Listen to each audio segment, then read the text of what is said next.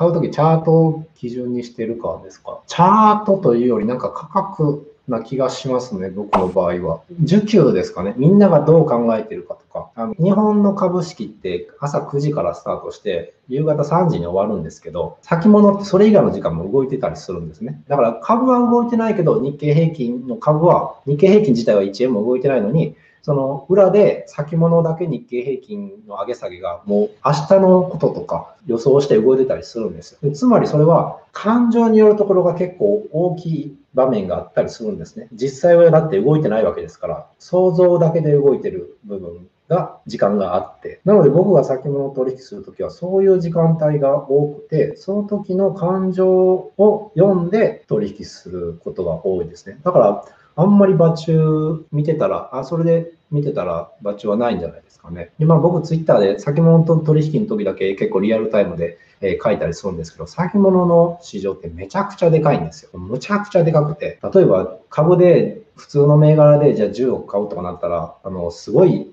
株価が動いちゃったり、どうしよう、これ。ちょっと待ってください。家で配信してたら確かにね、こういう配達みたいなの来ますよね。どこまで話しましたっけ？えー、あ、そうそうそう。場中に先物のことを話したりするんですけど、先物ってめちゃめちゃ市場がでかくて、普通株で10億買うってなったらすごいもう株価が動いちゃったりするんですけど、先物で10億分とかってもう全然、もうもう全然動かないんですよ。もう全く。だから僕程度の資金で何どれだけ取引しても何の影響も与えないので、めちゃめちゃ書きやすいんですね。なので、唯一今リアルタイムで書いても何の影響もなかったりするのが先物なので書けたりするんですけど、まあ、そういうのを見てくれたらわかると思うんですけど、多分場中外というか3時超えてからの方が多い気がします。カキピー。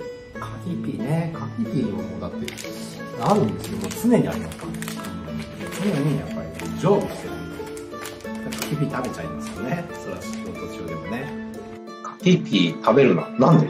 なんでなんでピーピー食べてないし。いやいやいや。柿ピーとか絶対食べないし。